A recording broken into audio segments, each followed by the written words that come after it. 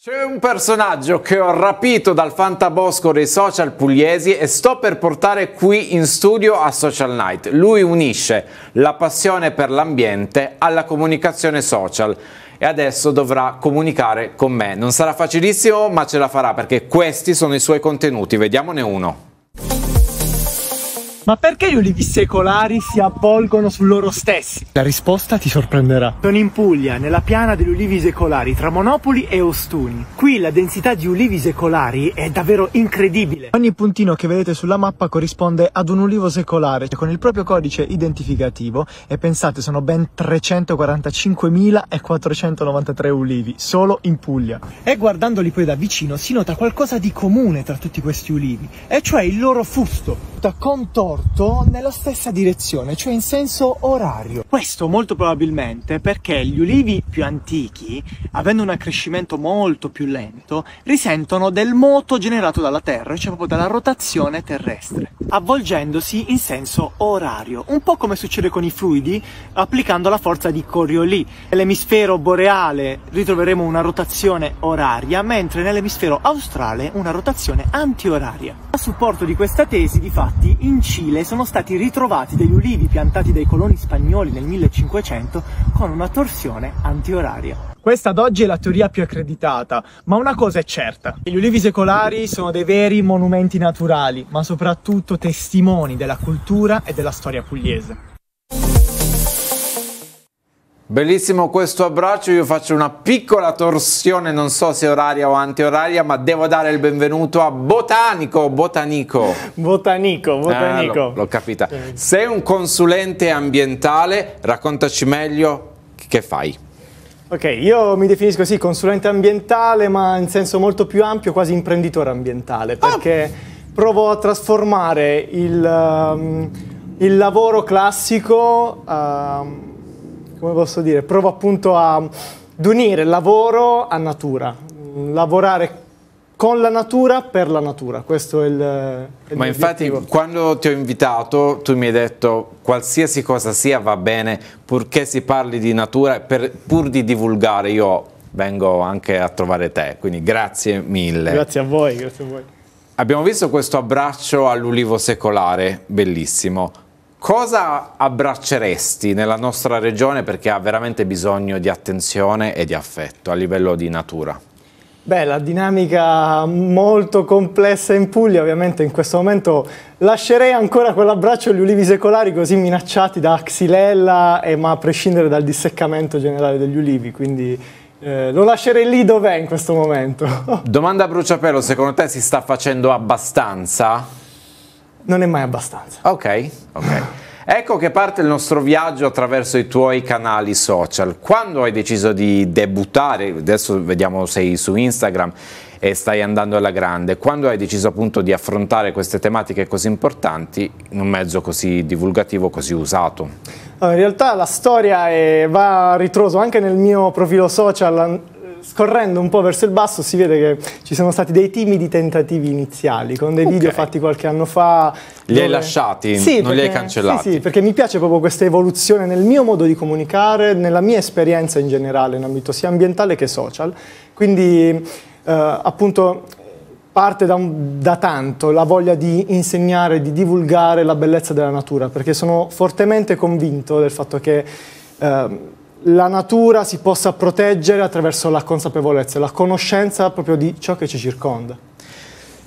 Di solito in estate la nostra regione viene veramente invasa da un flusso turistico della quale io vado veramente orgoglioso, purché sia rispettoso del nostro territorio cosa ne pensi e quali argini possiamo creare affinché, ok, la gente possa venire, creare anche un indotto economico molto importante per la nostra regione, ma che non sia rovinoso per il nostro ambiente? Allora, questa è, un, è, una domanda Io sto sparando molto... tutte le parole forbite, ho gli ultimi minuti, poi mi sentirai proprio imprecare perché non è il mio linguaggio. Vabbè, però è bello appunto provarci. Yes. Eh, diciamo che questo è il punto cruciale, penso, dell'intera generazione, cioè riuscire a proteggere la natura, o meglio, l'equilibrio naturale attuale, ehm, ma senza intaccare l'economia o comunque gli interessi dei singoli, perché non è giusto magari dire ok eh, non facciamo più questa cosa a discapito a livello economico di qualcuno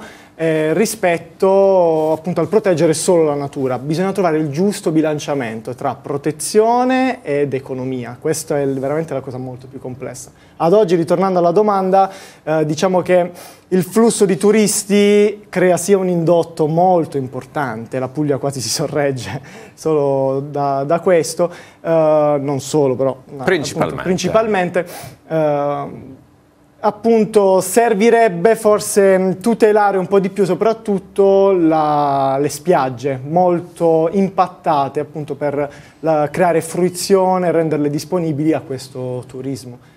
Noi siamo molto avanti, però forse dobbiamo fare un passo indietro e accendere i riflettori sulla giornata di oggi, 8 marzo, giornata internazionale della donna, ci sono ad ogni angolo delle strade delle mimose, dei rami di mimose in vendita. Abbiamo questo articolo, le mimose sono fiorite già mesi fa, fa parte di un tilt che riguarda un po' tutto l'aspetto ambientale e tu mi dicevi che infatti hai notato delle mimose un po' malandate adesso. Eh sì, si è notato appunto anche agli angoli o nel, nei fiorai hanno anche loro avuto una certa difficoltà nella ricercare, ritrovare mimose belle, perché poi ovviamente la questione è sempre quella, mimose eh, che siano belle gialle con un bel fiore, anche se appunto poi entrando in cavilli molto più tecnici e botanici, ah. il fiore è un quelli sono solo gli stami del fiore, quindi dove si ritrova il polline. Te lo stavo per dire. E poi quella non è proprio una mimosa, ma è una cacia, è sì, un'altra cosa ancora. Occhio.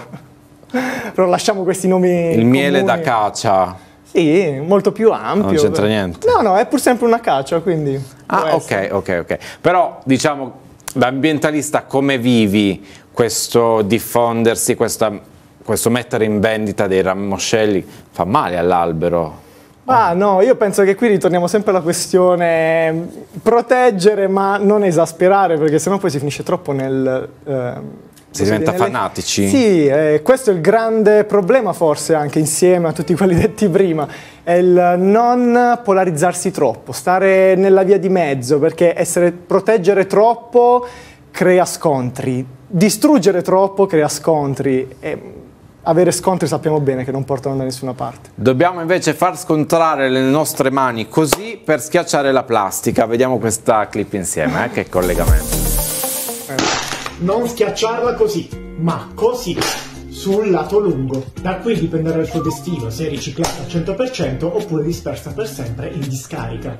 Questo perché una volta schiacciata a fisarmonica è finita sul nastro trasportatore all'interno del centro di raccolta, i sensori ottici che riconoscono e dividono le diverse tipologie di plastica non avranno sufficiente superficie per analizzarla e quindi individuarla come bottiglia e PET, venendo così scartata, finendo nell'indifferenziata, perdendo risorse importanti, vanificando l'intero processo del riciclo. L'area differenziata e fatta bene può fare davvero la differenza. Botanico, è complicato eh, però fare questa raccolta riciclata, differenziata. Beh sì, diciamo che come tutto bisogna un po' abituarsi, perché okay. anche semplicemente dividere, cioè, l'altro giorno ho visto un video molto carino, dici, proprio dici, sulla dici. questione eh, raccolta differenziata, non bisogna più immaginare i cestini come rifiuti, ma come piccoli tesori, come piccole banche in cui deporre qualcosa di importante, perché poi tutto questo verrà riciclato e riutilizzato per fare nuovi materiali senza impattare sull'ambiente. Quindi, succo del discorso, fare la differenziata vuol dire proteggere il pianeta. Quindi, Facciamo un renaming del ex cestino, come lo chiamiamo adesso nel 2024? Wow, eh, renaming del cestino potrebbe essere eh, Contenitore della nuova vita. Se vogliamo usare... Sì. No, forse è un po' troppo religioso, non lo so. Beh, sì, un po' troppo profondo, la gente sì. ha bisogno di leggerezza Vai. talvolta, quindi io gli darei tipo... Eh, contenitore, no, non mi viene al momento su due piedi. Rimaniamo con, connessi con te e poi ce lo svelerai. Fai tantissimi altri contenuti, dai consigli e poi in molti dei tuoi followers vogliono sapere come si evolve il tuo orto. Eh sì, diciamo che ho quest'altra passione parallela a tutte quelle che già si coltivano. Eh, no, vabbè, questo gioco de... di parole, c'è un autore anche tu? No. Me lo devi suggerire. Va bene, va bene. Ok. Eh, appunto sull'agricoltura è uno dei miei hobby e ci tengo appunto a mettere realmente poi le mani in pasta. Dov'è il tuo orto che vengo a rubare i frutti? Su Monopoli, su Monopoli. Ah, ti mantieni vago, va bene. sì. Cosa sta crescendo adesso? Sei in periodo di potatura? Beh sì, questo è un periodo importante. Me l'ha detto a telecamere spente, io non ne avevo idea. sì, sì, adesso si, si, stanno potando gli ulivi, anzi si è iniziato già da qualche settimana per la potatura degli ulivi, e così ci si fa trovare pronti poi per la raccolta dell'olio e per fare olio buono ed extravergine oh, d'oliva. buono, buono. E, ehm, comunque sì, al momento ho fave e piselli, belle lì che crescono. No, no, adesso sono ancora piantine, sono okay. in fiore. Ah, okay. Tra circa un mesetto e mezzo, poco più, dovremmo raccogliere i primi dovremmo. macelli. Devo venire io a rubare i tuoi frutti. Eh, ti porto un sacchetto. Ah, grazie. Hai fatto un tutorial, hai insegnato qualcosa, vediamolo. Fave e piselli, non le hai ancora piantate? Beh, a dicembre sei ancora in tempo. Armati di zappa, iniziamo a preparare i nostri solchi. Una volta tirato i solchi, tre semi di fava, ne mettiamo tre per ogni punto, dopo altre tre, dopo una ventina, trentina di centimetri. E così via per tutto il filare. Mentre per i semi di piselli basterà prendere una manciata e distribuirla lungo il filare. Possiamo coprire tutto ricoperto. Ok, ma quante piantarne? Beh, per una famiglia media vanno bene mezzo chilo di semi, sia di fave che di piselli. Adesso aspettiamo marzo per la raccolta. Buon orto a tutti! E quindi ci siamo quasi. Diciamo che lì sono stato un po' troppo positivo. Ah, ecco. un po' più lunga la. Sarà aprile? Sì, sarà fine aprile, primi di maggio. Però tu sai che il popolo che ci guarda, soprattutto sui social, è sempre lì pronto a lanciare la critica. Quindi li anticipo io. Tu in questo video reggevi il telefono, ho visto qualcun altro zappare. Sì, sì, c'era mio suocero lì a zappare. Salutiamolo. Ciao Adelmo. Ma poi zappi anche tu? Sì, zappo, rizappo, qui ho le mani ancora fresche di potature eh, in atto, quindi sì, ci diamo da fare a prescindere. Chi ha tramandato in te questa passione per il verde e per l'ambiente? Allora, diciamo che tutti nella mia famiglia sono molto distanti dal, dall'aspetto ambientale, sono solo, solo sono dei grandi lavoratori, tra operai, tra comunque lavori molto manuali e tecnici. Uh, io me, la prima memoria che ho in ambito naturale ce l'ho con mio padre e quando eravamo molto piccoli, quando ero molto piccolo, uh, mi faceva guardare insieme a lui i documentari sull'Amazzonia e vedevo dai disastri alle cose meravigliose dell'Amazzonia e quindi penso che questo mi abbia generato qualche, mi abbia lasciato qualche seme dentro la mia testa e poi è germogliato e adesso siamo qua. Qual è il tuo divulgatore del cuore? Penso a un Pietro Angela oppure un Mario Tozzi? Beh sì, diciamo che il sogno quando, era, quando ero ancora più piccolo, ma anche adesso, è riuscire a divulgare al grande pubblico gli aspetti, le meraviglie naturali e diciamo che Piero Angela è un esempio lusinghiero quasi, cioè, a cui poter ammirare. Beh, però stai facendo nel tuo piccolo, nel tuo orticello, gioco di parole, non so se l'avete capito, un ottimo lavoro. Stiamo per toccare come ultima tematica una tematica molto spinosa, perché magari proprio per te che hai un orto ci sono poi magari degli animali che possono rovinare il tuo orto e tu che hai la fama di, di amante dell'ambiente, come ti comporti? Allora, io sul mio orto eh, diciamo che essendo una piccola coltivazione, parliamo di circa un ettaro, non, non utilizzo alcun uh, fitofarmaco, comunque uh, è totalmente biologico, anche se pure nel biologico qualcosa appunto di... Uh, si può usare. Si può utilizzare, sempre in certi limiti. Però nel mio, precisamente, io guardo lì le, le mie foglie di bietole che ho appena raccolto, perché non l'ho detto, avevo anche bietole e altre, altre cose. Le bietole erano un po' mangiucchiate, va benissimo così, perché il problema vero lì è quando le devi vendere. Okay. Perché la gente vede una foglia mangiucchiata rispetto a una bella lucida al supermercato, sceglierà quella lucida. La quella vuole bella. Eh sì, l'occhio purtroppo vuole la sua parte in ambito alimentare. Sbagliamo? Sì, assolutamente assolutamente. Cioè, se pensiamo tipo alle zucchine spagnole, tanto di recente ci sono stati diversi articoli su questa tematica, le zucchine spagnole sono ricoperte di cera, una cera particolare per non farle prosciugare, mentre quelle italiane no, sono letteralmente naturali e sono anche più piccole e si dis disidratano prima. Quindi come le posso trovare io esteticamente? Allora, diciamo che il focus principale è cercare chilometri zero comunque di italiani. Certo, quindi guardare sempre la provenienza. Sì, già in Italia ci sono, ma anche in, in gran parte d'Europa, alla fine restrizioni molto serie. Il problema è quando vogliamo acquistare frutti extraeuropei, dove mm. le eh, le regole a tutela ambientale dei lavoratori e della salute del consumatore sono ben diverse. Quindi possiamo ritenerci un po' fortunati perché in Italia ci sono più tutele in questo ambito. Beh sì, in Europa siamo nettamente avanti rispetto al resto del mondo. Il almeno, problema... almeno su questo aspetto. Sì, però potremmo fare, come ho detto prima, molto di più. Che rapporto hai?